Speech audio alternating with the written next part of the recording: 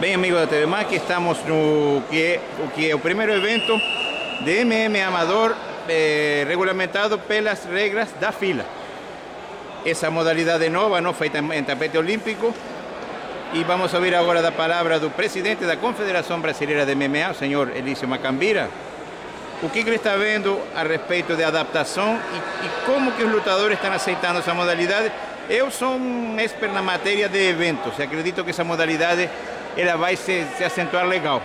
Já havia a empolgação da, da, da, torcida, então acredito que ela seja uma modalidade boa de, de, de competição. É, o modelo da FILA, da Federação Internacional de Lutas Associadas, Ralph Martinetti, que é o presidente da FILA, ele agora recentemente, agora no mês de janeiro, almoçou comigo no, Rio de Janeiro, no, no restaurante do Rio, e disse que ele tem uma grande pretensão de colocar essa modalidade nos Jogos Olímpicos, talvez 2020, 24, ah, quer dizer, daqui uns 8, 10 anos, pode se tornar uma modalidade olímpica.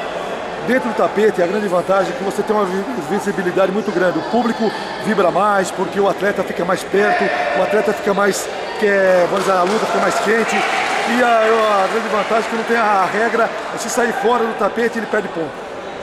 Como acontece no octógono, é, onde o atleta segura a grade, a grade atrapalha um pouco a visão do público, aqui não, não atrapalha absolutamente. O público tem visão total do, da, da luta.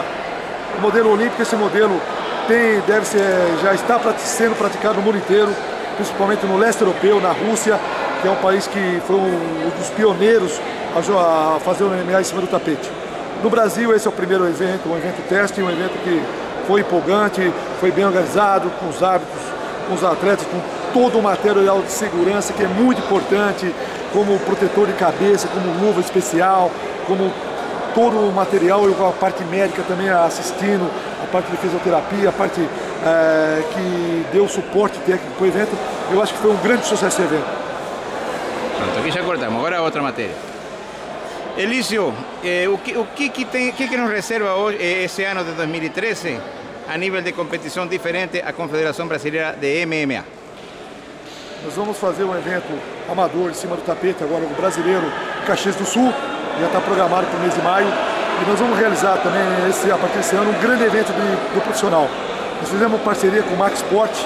A Max Sport deve fazer o melhor evento no hemisfério sul.